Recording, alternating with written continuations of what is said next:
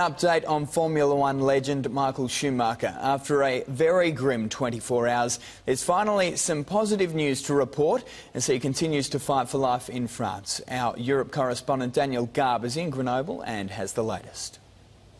Yes, thank you. There wasn't much at all to smile about yesterday, but after a major media briefing by Michael Schumacher's medical team, we can tell you there has been a slight improvement in his condition following that severe head injury he suffered while skiing in the French Alps on Sunday. Doctors have decided to operate on his brain for a second time. They did that overnight here on Monday, and after scans this morning, they noticed that slight improvements that we speak about. However, despite that encouraging news, they have been quick to warn that he still has a long way to go before he can be deemed out of danger and remains in a critical condition.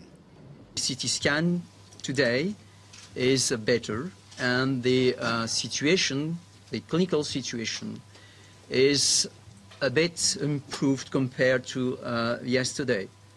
But at the time, it's, it's uh, too premature to uh, make any uh, speculation about his, his condition. So that is positive news, especially when you consider that doctors said they were surprised to see that improvement in Schumacher. But again, they reiterated that in intensive care, things can change very quickly, and he still has a long way to go on the road to recovery. Schumacher's family have been by his bedside here from the moment he was admitted into hospital, and today his long-term agent admitted they've been affected greatly by these events. Obviously, they are very worried and very shocked.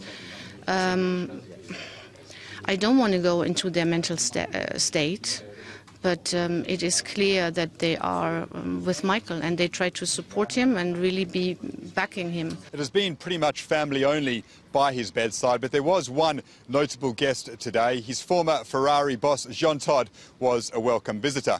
There was a disturbing revelation, however. Police have confirmed to us that uh, a journalist has dressed up as a priest and eluded hospital security in an effort to sneak into Schumacher's room. He was eventually stopped, but an act like that just leaves you shaking your head when you consider these circumstances. Apart from that, it has been an encouraging day, though, for the seven times Formula One world champion and his family.